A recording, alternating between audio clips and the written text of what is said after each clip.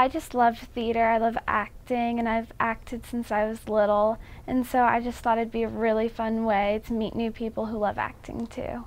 I consider myself a very creative person, so I chose theater arts because I love to just like, you know, get down in there and do all kinds of creative stuff.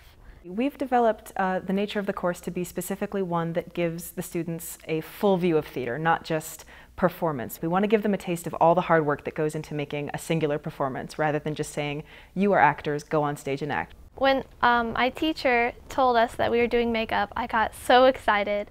Jamie and Julie taught us all the different tricks and trades in makeup.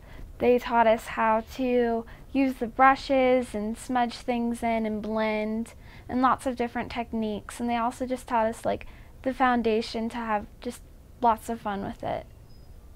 All the time we do um, acting and improv games, and that's really, really helpful because um, I'm not super great at improv, but ever since we've done it, I've slowly been getting better and better.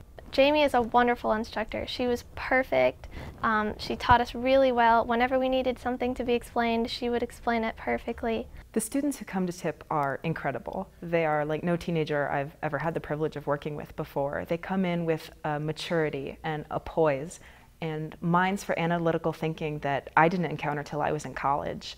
Being away from home here at TIP has been great. It's like another home. I've seen and met so many new people I've done so many different cool things that I've never even dreamed of doing.